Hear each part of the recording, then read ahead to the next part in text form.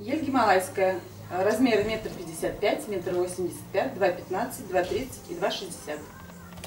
Сборка ели. Подставка, ствол, ветки. И заключительная часть – макушка. Ель классическая, с нешироким нижним диаметром веток. Подойдет для установки даже в небольших помещениях. Материал хвой комбинированный.